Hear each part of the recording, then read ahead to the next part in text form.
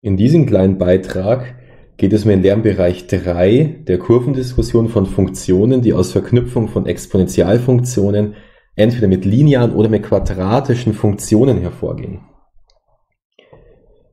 Hier soll nämlich einmal gewisse Eigenschaften von Funktionen dieser dargestellten Form hier f von x mal e hoch g von x plus y0 diskutiert werden. Wichtig hierbei ist, um dieses Kapitel zu verstehen, dass f und g lineare oder maximal quadratische Funktionen darstellen. Im Verlauf dieser Kurvendiskussion werden wir zudem etliche Male ableiten müssen. Das bedeutet, hier tauchen auch noch zwei Begriffe auf, mit denen man umgehen sollte, nämlich die der Kettenregel und der Produktregel. Diese Regeln solltet ihr unbedingt beherrschen, sonst könnt ihr in diesem Kapitel dem Inhalt nicht ordentlich folgen. Die Zielsetzung ist, dass wir von so einer Funktion in dieser angegebenen Form gewisse charakteristische Punkte, manchmal reichen auch Koordinaten berechnen und dann eben am Ende den Graphen skizzieren. Im zweiten Aufzählungspunkt steht im Prinzip nochmal genau das gleiche. Zudem kann jetzt eben diese Funktion noch mit irgendeiner Problemstellung, die anwendungsorientiert ist, verknüpft sein.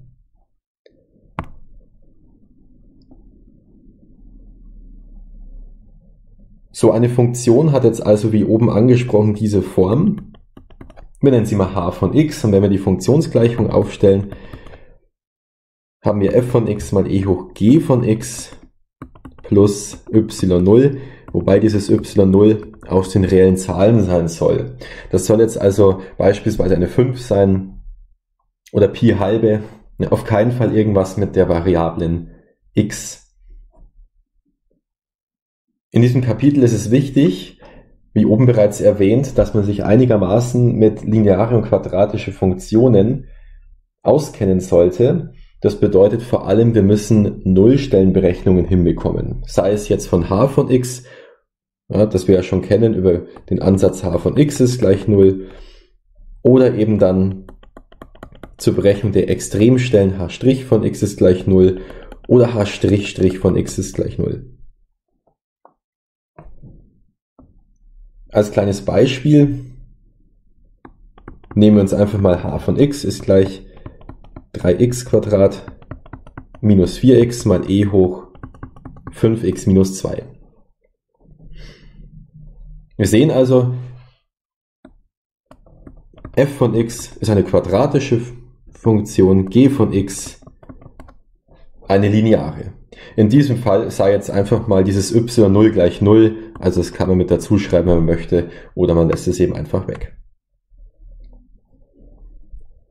Was sollte man jetzt wissen, um in diesem Kapitel sinnvoll fortzufahren? Sollte bekannt sein, dass dieses Ding da hier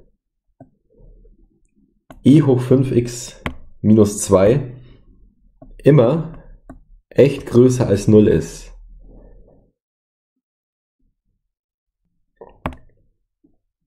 Da gibt es jetzt erst einmal zwei Methoden, um das zu zeigen. Das eine ist, wir nehmen einfach mal an, es würde funktionieren. Also es gibt ein x, für das e hoch 5x minus 2 gleich 0 wäre. Jetzt ist dieses x, was wir suchen, im Exponenten.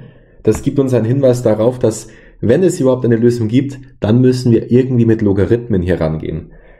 Da die Basis hier unser e ist, kommt ja in dem Sinn nur der natürliche Logarithmus in Frage. Das bedeutet, auf der linken Seite meiner Gleichung entsteht erstmal das da hier, ln von e hoch 5x minus 2, was erst einmal in Ordnung ist. Auf der rechten Seite jedoch müssen wir also den natürlichen Logarithmus von 0 bilden. Ich schreibe das jetzt mal auf diese Art und Weise hin, damit wir uns vergegenwärtigen, dass der natürliche Logarithmus ja die Basis e besitzt.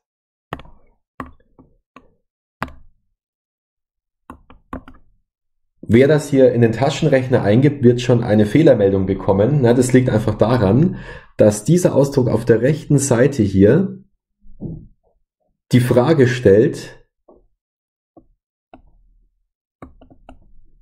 mit was muss ich denn E potenzieren, damit dann am Ende 0 rauskommt.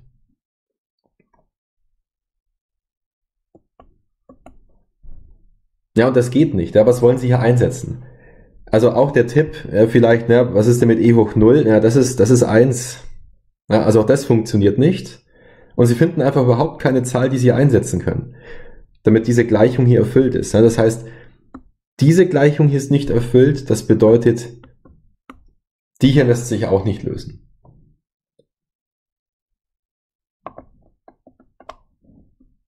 Eine andere Methode, um nachzuweisen, dass e hoch 5x minus 2 auf jeden Fall größer als 0 ist, ist folgende.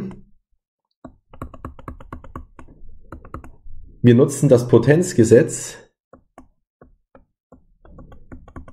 das uns sagt, wir können e hoch 5x minus 2 auch schreiben als e hoch 5x geteilt durch e hoch 2. Und das wiederum da können wir wieder eins der Potenzgesetze anwenden. Da können wir sagen, das ist e hoch x in Klammern hoch 5 geteilt durch e Quadrat. So, und jetzt weiß man ja, also einmal e Quadrat, okay, das ist definitiv größer als 0. Und dann, was weiß man auch noch? Naja, Sie kennen ja den grafischen Verlauf von i hoch x, der so aussieht. Ja, und jetzt soll das Ganze einfach noch hoch 5 genommen werden. Ja, da merken Sie auch, also i hoch x ist immer größer als 0. Dass Sie das Ganze dann noch hoch 5 nehmen, ändert nichts am Vorzeichen. Also auch das ist größer als 0 und somit muss der gesamte Bruch auch größer als 0 sein, denn Sie dividieren ja eine positive Zahl durch eine weitere positive Zahl. Wie oben angesprochen, sollten Sie auch mit den Begriffen Produktregel und Kettenregel vertraut sein. Ja, wenn man beispielsweise den Term, den wir gerade behandelt haben, ja, wenn Sie diese Funktion hier beispielsweise ableiten wollen, ja, was passiert dann? Also e hoch 5x minus 2 bleibt erst einmal so stehen und dann muss man eben noch diesen Exponenten hier ableiten. Ne? Also im Prinzip 5x minus 2 nochmal abgeleitet und das ergibt dann e hoch 5x minus 2 mal 5. Ja, das hier war die Kettenregel.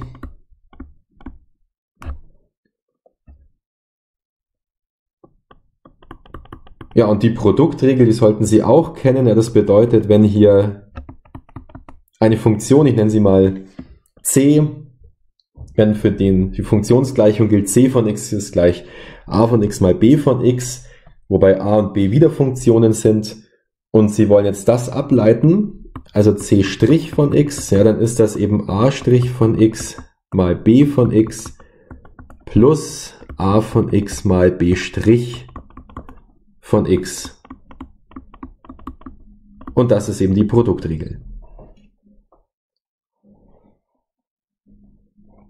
Zum Fahrplan jetzt in diesem Kapitel. Wir wollen die oben angesprochen schon die charakteristischen Punkte oder die charakteristischen Eigenschaften von so einer Funktion h, wie sie hier oben dargestellt ist, bestimmen. Und dazu werden wir uns so nach und nach entlang hangeln. Ja, wir werden anfangen mit den ersten charakteristischen Stellen, die Sie in der 11. Klasse kennengelernt haben, ja, die Nullstellen. Dann werden wir gucken, ja, wie sieht es denn aus mit dem Globalverlauf oder Ränder. Ja, da müssen wir mal gucken, was bei der Funktion noch mit dabei steht. Ja, hat, sie, hat sie feste Ränder oder kann man da ein x gegen Plus oder Minus unendlich laufen lassen oder eine Mischform davon. Dann gibt es natürlich noch diese Aufgaben, ja, da kann man mal prüfen, liegt irgendein Punkt auf dem Graphen oder nicht. Ja, diese drei Punkte betreffen jetzt mal in erster Linie hier h von x. Dann geht es weiter im zweiten Teil mit den Extremstellen. Ja, ganz eng verwandt damit sind die Monotonieintervalle.